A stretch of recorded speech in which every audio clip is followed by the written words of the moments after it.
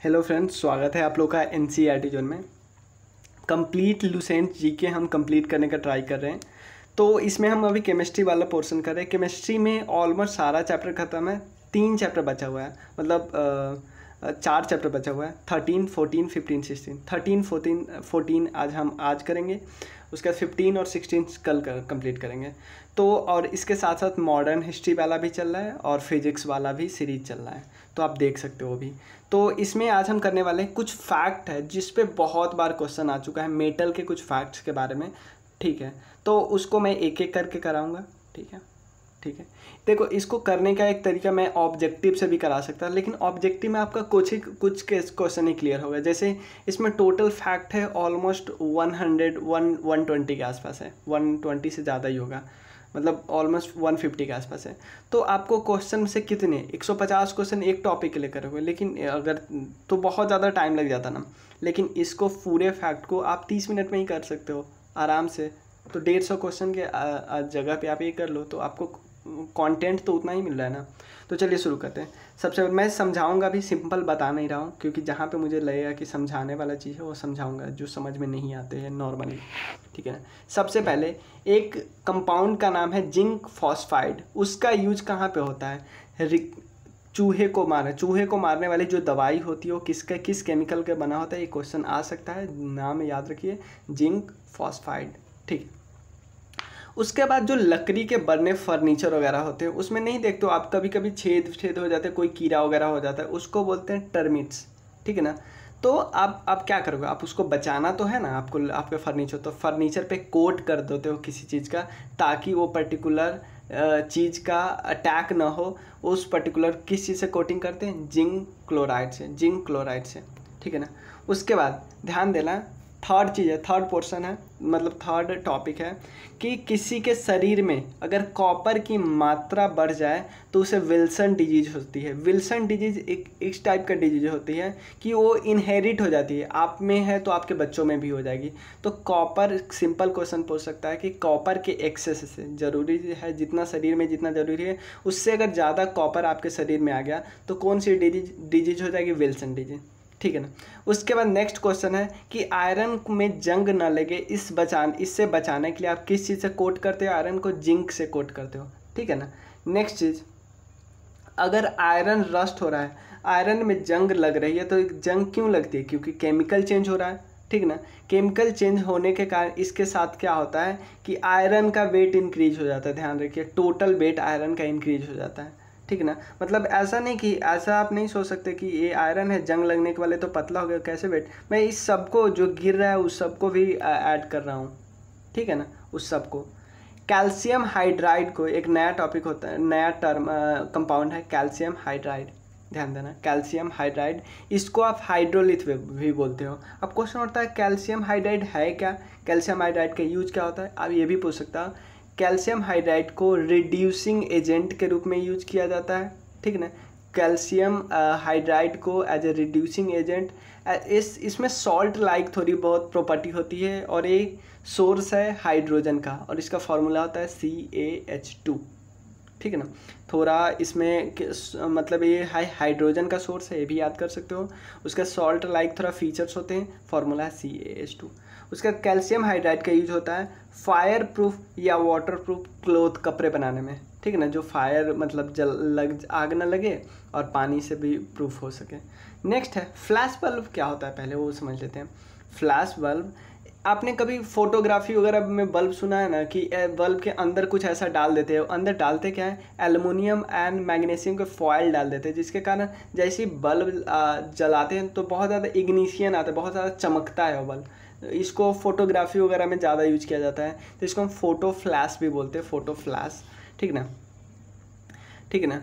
तो इसमें बताया जा रहा है कि मैग्नीस, इस बल्ब में मैग्नीशियम वायर को नाइट्रोजन गैस के एटमोसफेयर में रखा जाता है। ये ध्यान रखना है। मैग्नीशियम वायर को is kept in atmosphere of nitrogen gas तो पूछा जा सकता है कि फ्लैश बल्ब में मैग्नीशियम वायर को किस एटमोसफेयर में रखा जा सकता है? ऑप्शन होता है हाइड्रोजन कार्बन डाइऑक्साइड ऑक्सीजन तो आप नाइट्रोजन याद रखना। ठीक है ना? नेक्स्ट है टाइटेनियम के बारे में। टाइटेनियम को स्ट्रेटजिक मेटल बोला जाता है। स्ट्रेटजिक मेटल इसलिए बोला जाता है क्योंकि ये आयरन से हल्का होता है। ठीक है ना? आयरन से हल्का होता है। समझ गए?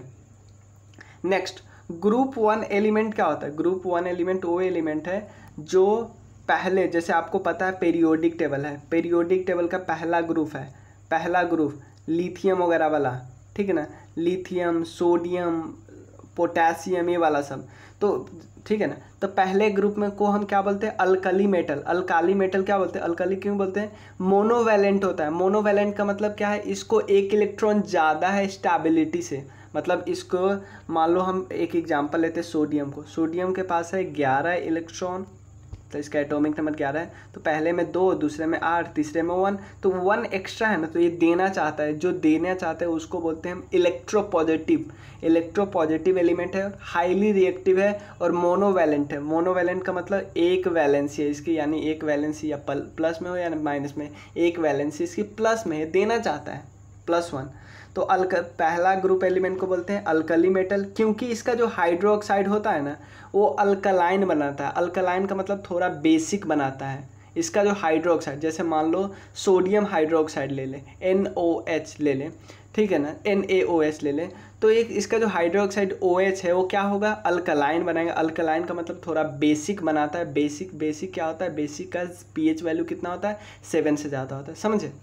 उसका इसका, जो इसका सेकेंड ग्रुप है पहला ग्रुप के पास देख देखिए एक इलेक्ट्रॉन ज़्यादा है, सेकेंड ग्रुप के पास क्या होगा, दो इलेक्ट्रॉन ज़्यादा है। यानी इसको हम बाई वैलेंट या डाई वैलेंट भी बोल सकते हो। इलेक्ट्रॉन को डोनेट वो करता है तो इसको बोलते हैं अल्कलाइन अर्थ मेटल ठीक है, ध्यान देना, पहले को alkaline alkali metal alkali metal इसके हाइड्रोक्साइड इसका हाइड्रोक्साइड अल्कलाइन होता है, यानी हाइड्रोक्साइड इसका बेसिक होता है, यानी बेसिक है तो पीएच का वैल्यू सात से ज़्यादा है। और इसका जो सेकेंड एलिमेंट है मतलब सेकेंड ग्रुप है, वो उसको अल्कलाइन अर्थ मेटल बोलते हैं। नेक्स्ट है। ठीक है ना? नेक्स्ट है। बैबिट मेटल जिसमें क्या क्या होता है? बैबिट मेटल जिसमें तीन चीज़ होता है tin eighty nine percent nine percent होता है एंटी मनी, उसके अलावा टू परसेंट कॉपर होता है। और इसका यूज़ कहाँ होता है पता है आपको? बियरिंग मटेरियल नहीं होते हैं, जिससे बियरिंग बनाया जाता है साइकिल या किसी चीज़ का, वहाँ पे यूज़ होता है। ठीक है ना? बैबिट मटेरियल का। उसके बाद गन पाउडर की बात करते हैं। गन पाउडर में क्या आपसे पूछा जा सकता है क्या क्या मिलता है? ये सब मैं बता चुका हूँ, पिछले वीडियो में भी था, ये इसमें भी आ गया। गन पाउडर में seventy five percent potassium nitrate होता है टेन परसेंट सल्फ़र होता है फिफ्टीन परसेंट चारकोल होता है। ठीक है ना? उसका नेक्स्ट है chromium trioxide chromium chromium trioxide को क्या बोलते हैं? क्रोमिक एसिड भी बोलते हैं। क्रोमियम ट्राईऑक्साइड को क्रोमिक एसिड भी बोलते हैं। नेक्स्ट बात करते हैं। नेक्स्ट बात करते हैं किसका? नाइ nichrome wire in electrical heater nichrome wire का यूज़ कहाँ पे होता है? इलेक्ट्रिकल हीटर में यूज़ होता है। ठीक है ना? नाइक्रोम आप इलेक्ट्रिकल हीटर में देख लिए N I C R F E तो नाइक्रोम वाट वायर का यूज़ होता है इलेक्ट्रिकल हीटर में, समझ गए? उसके बाद क्वेश्चन पूछ सकता है इसमें नेक्स्ट में पर्ल एस जो हम बोलते हैं पर्ल एस कौन सा कंपाउंड है? तो आप बोल देना सिंपल पोटेशियम कार्बोनेट है के टू सी ओ थ्री ठीक है ना? उसके बाद जनरली जो ट्रांजिशन मेटल होता है ना and their compounder colour transition metal transition metal कौन होता है? देखो, आपको पता है जो पहला दूसरा ग्रुप होता है, वो होता है पी एस ब्लॉक वाला। राइट साइड वाला जो नॉन मेटल वाला होता है, वो सारे नॉन मेटल नहीं होते मोस्टली नॉन मेटल वाला होता है पी ग्रुप तो जो बीच का होता है ना, उसको ट्रांजिशन में बोलते हैं। तो ट्रांजिशन मेटल अगर कि कंपाउंड बनाता है तो उसके कंपाउंड थोड़ा कलर्ड होते हैं, ठीक है? उसके बाद ये भी क्वेश्चन आ सकता है कि किस कंपाउंड का यूज़ हार्डनेस ऑफ़ वाटर को रिमूव करने में किया जाता है तो आप बोल देना सिंपल जियो लाइट ठीक है जियो लाइट उसके बाद है, in cytochrome in cytochrome question पूछ सकता है कि आयरन किस किसमें प्रेजेंस होता है? तो उसमें एक ऑप्शन होगा साइटोक्रोम तो आप साइटोक्रोम वाला ऑप्शन लगा देना है कि साइटोक्रोम में आयरन प्रेजेंट होता है। ठीक है ना? उसके बाद आपसे क्वेश्चन क्वेश्चन पूछ सकता है कि फ़ोटो इलेक्ट्रिक सेल हम जो बनाते हैं, फ़ोटो इलेक्ट्रिक सेल, उसमें कौन सा मेटल यूज़ होता है? तो आप सिंपल बता देना सेलेनियम मेटल यूज़ होता है। फ़ोटो इलेक्ट्रिक सेल जो आप बनाते हैं, उसमें सेलेनियम मेटल यूज़ होता है। ठीक है ना? आपसे पूछ सकता है कि कौन कौन से मेटल रूम टेम्परेचर पे रूम टेम्परेचर पे लिक्विड फ़ेज़ में होता है। तो एक तो आपको मर्क्यूरी पता है, दूसरा एक गैलियम भी होता है, जो जो गैलियम भी एक मेटल है, जो रूम टेम्परेचर पर लिक्विड फ़ेज़ में होता है। ठीक है ना? आपसे पूछा जाएगा कि किस मेटल का यूज़ एरोप्लेन बनाने में होता है? तो आप बोल देना पैलिडियम मेटल का यूज़ एरोप्लेन बनाने में होता है। सिंपल सिंपल ये सब तो ज़्यादा समझाने के बाद ज़रूरत नहीं है। रेडियम का नाम सुने होइएगा आप रेडियम रेडियम एक्सट्रैक्ट होता है पिच ब्लेंड से। रेडियम किससे एक्सट्रैक्ट होता है? रेडियम ये इसका ओर होगा और ये रेडियम इससे एक्सट्रैक्ट होता है। इसका नाम है पिच ब्लेंड से रेडियम एक्सट्रैक्ट होता है। उसका नेक्स्ट है। वर्ल्ड फ़ेमस जो आईफिल टावर है, उसका जो बेस है, वो किस चीज़ का बना है? स्टील और सीमेंट का। ठीक ना? उसके बाद एक्टिनाइट्स एक्टिनाइट्स आपको पता है एफ़ ग्रुप वाला जो होता है, जो नीचे दो पेयर होते हैं ना, उसमें एक लेक्टिनाइट्स होते हैं एक्टिनाइट्स होते हैं। तो एक्टिनाइट्स जो होते हैं रेडियो एक्टिव एलिमेंट होते हैं। जो नीचे पेरियोडिक टेबल में दो लाइन नीचे नहीं होते, वो उसकी बात कर है। तो एक्टिनाइट्स रेडियो एक्टिव एलिमेंट होते हैं, याद रखना। उसके बाद कैडमियम रॉड का यूज़ होता है न्यूक्लियर रिएक्टर में। आपसे पूछ सकता है कि किस मेटल के रॉड का यूज़ होता है न्यूक्लियर रिएक्टर में? क्यों? और क्यों यूज़ होता है, ये भी पूछ सकता है। कैडमियम रॉड का यूज़ होता है न्यूक्लियर रिएक्टर में, ठीक है। क्यों? क्योंकि स्पीड ऑफ़ न्यूट्रॉन को स्लो डाउन कर सके, ठीक है। उसके बाद सोडियम पेरोक्साइड, ठीक है सोडियम पेरोक्साइड का यूज़ होता है सबमरीन बनाने में, और ये और चीज़ करता है also to purify close air in hospital hospital में जो क्लोज एयर होता है, उसको प्यूरीफाई करने में मदद करता है सोडियम पेरोक्साइड। कोवाल्ट का यूज़ होता है कैंसर ट्रीटमेंट में। आपसे पूछ सकता है कि इसमें से किस मेटल का यूज़ होता है कैंसर ट्रीटमेंट में तो आप बोल देना कोवाल्ट। नेक्स्ट है, ओनियन और गार्लिक में जो जो उसका सुगंध होता है ओनियन प्याज, ठीक है ना? और गार्लिक में जो इसका यूज़ होता है, ठीक है ना? वो किस कारण होता है, ठीक है ना? तो ये कारण होता है पोटेशियम नाम का मेटल उसमें पाया जाता है, ठीक है ना? ओनियन और गार्लिक में, इसलिए इसका ऑर्डर यानी सुगंध इस टाइप का होता है, ठीक है ना? ऑक्साइड ऑफ़ मेटल मैंने पिछले ही बताया था ऑक्साइड जो पहला था ग्रुप वन का मेट, ग्रुप वन का मेटल अगर ऑक्साइड बनाता है तो उसका ऑक्साइड कैसा होता है? अल्कलाइन होता है, थोड़ा बेसिक होता है, और बेसिक यानी पीएच का वैल्यू सात से ज़्यादा होता है। उसके बाद, सिल्वर और copper was a best conductor of electricity silver और कॉपर जो होता है बेस्ट कंडक्टर ऑफ़ इलेक्ट्रिसिटी होता है, इसलिए कॉपर वायर का हम यूज़ करते हैं। ठीक है ना? Gold and silver silver are most malleable metal malleable का मतलब क्या होता है कि आप कितना भी उसको धक्का दे दे के कितना ही पतला कर दो, कितना ही पतला बना सकते हो। जितना गोल्ड का पतले से पतले गहना बना लेते हैं छोटा से छोटा बना लेते, दूसरा मेटल होता कि एक एक उसमें मारने पे टूट जाता है, ऐसे हो जाता। उसके बाद, ये क्वेश्चन आ चुका है नेक्स्ट वाला। मतलब इसमें से ऑलमोस्ट सारे टॉप जो ऐसे मैंने देखा कि कई बार क्वेश्चन आ ही चुके हैं। ठीक है ना, मैं एक ही दो एग्ज़ाम का देखता हूँ और सबका देखूँगा तो सारे टर्म्स आ ही होंगे कभी ना कभी। उसके बाद नेक्स्ट है। क्योंकि लूसेंट भी वही देता है जो इम्पोर्टेंट टॉपिक होता है, जो लगता है उनको कि आ जाएगा एग्ज़ाम में। ठीक है ना? नेक्स्ट है। Mercury and iron produce more resistance in comparison to other during the flow of water मतलब इलेक्ट्रिसिटी अगर फ्लो होगा ना तो मर्क्यूरी और आयरन दोनों रेसिस्टेंस क्रिएट करेगा, यानी इलेक्ट्रिसिटी को फ्लो करने से मना करेगा। तो यानी उतना अच्छा इलेक्ट्रिसिटी का कंडक्टर नहीं है, हम ऐसा बोल सकते हैं। ये बहुत बार आ चुका है लिथियम के बारे में। लिथियम लिथियम सबसे लाइटेस्ट है lightest obviously atom atomic number three है, आपको पता है ना? हाइड्रोजन हीलियम लिथियम और मोस्ट रिडक्टेंट एलिमेंट है। ठीक है ना? मोस्ट रिडक्टेंट एलिमेंट है, ध्यान देना। और सबसे लाइटेस्ट है। ठीक है ना? उसके बाद फायर वर्क में फायर वर्क में जो क्रिम्सन रेड कलर आपको दिखता है ठीक ना रेड कलर नहीं दिखता जो फायर वर्क करते रहते हैं कुछ काटते वाटते रहते हैं या जो कुछ जलाते उलाते रहते हैं मेटल वगैरह का। तो जो रेड कलर दिखता है हमारा वो किसके कारण होता है? रेड कलर होता है स्ट्रोंटियम के कारण। स्ट्रोंटियम क्या है? स्ट्रोंटियम का एटॉमिक नंबर आप याद रख सकते हो नहीं भी रखना है तो भी नहीं रखो। केमिकली uh, रिएक्टिव होता है ठीक है ना? और ये थोड़ा सिल्वर की तरह लगता है। सिल्वर जो होता है ना उसकी तरह लगता है। सिल्वर कलर की तरह लगता है। उसके बाद ग्रीन देखो, आग, जो फायर वर्क होते हैं, उसमें रेड कलर लगा तो किसके कारण? स्ट्रॉन्टियम के कारण। अब क्वेश्चन होता है ग्रीन कलर भाई दिखाई दे तो किसके कारण? तो ग्रीन कलर वेरियम के कारण होता है बेरियम के कारण होता है। और वेरियम भी थोड़ा स्टील का कलर के स्टील के तरह दिखता है और इसका एटॉमिक नंबर होता है फिफ्टी इसका एटॉमिक नंबर होता है फिफ्टी सिक्स आई थिंक अब देख लेना एक बारी। मेरे से तो फिफ्टी सिक्स होता है। याद नहीं है। ठीक ना? बेरियम सल्फेट का यूज़ होता है एक्सरे में ऑफ़ एवेंडन एज ए बेरियम मिल देखो, जो एक्सरे का एक्सरे जो यूज़ होता है मतलब एक्सरे में नहीं, आप क्या करते हैं? नापते हैं डायग्नोसिस करते हैं। तो उस पर्टिकुलर चीज़ को बोलते हैं बेरियम मील बेरियम मिल का मतलब होता है उस डायग्नोसिस करने की चीज़ को बोलते हैं बेरियम मिल तो एक्सरे को एक्सरे से स्टोमक एक मतलब सर स्टोमक पेट वगैरह में का एक्सरे निकालते हैं? तो उस बेरियम मिल में, जिस चीज़ से हम डायग्नोस करते हैं, उस पर्टिकुलर चीज़ में बेरियम सल्फेट नामक कंपाउंड का यूज़ होता है। समझ गए? बेरियम हाइड्रोक्साइड बेरियम जो हाइड्रोक्साइड होता है, उसको एक और नाम दिया जाता है, बारियटा वाटर। ठीक है ना?